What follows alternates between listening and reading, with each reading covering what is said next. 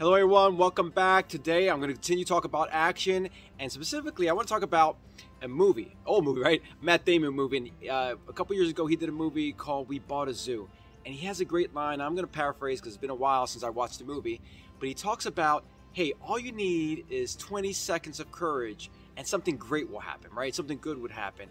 And he actually tells the story to his two children how he was walking by a cafe and just stopped because he saw this beautiful woman inside who ultimately was his wife and he needed 20 seconds of courage to go inside and just start a conversation and from there you know he found the love of his life he had two incredible kids and all these great things happened in his life and it occurred to me like oftentimes uh, we actually don't even need 20 seconds of courage i actually talk about six seconds of courage we just need six seconds of courage to do the thing that we say we want to do and something great will happen out of it, right? And and oftentimes when we're about to take action, something happens. In most cases, and I and that's fear, right?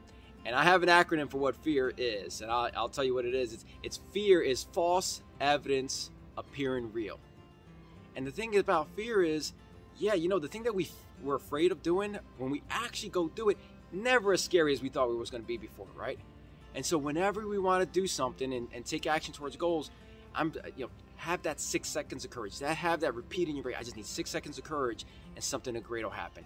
Six seconds of courage to pick up that phone and call that prospect I've been dreading to call. You know, six seconds courage to uh, call that person that you love and say, you know, hey, uh, let's make up. I'm sorry about that argument.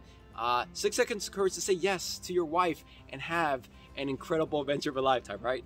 And so that's what you want to do. Whenever you're taking action, have in the back of your brain six seconds of courage. Thanks so much for listening. Again, thank you for for uh, all the feedback. It's been great.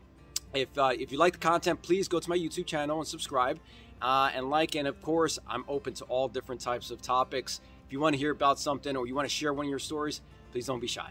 Have a great day.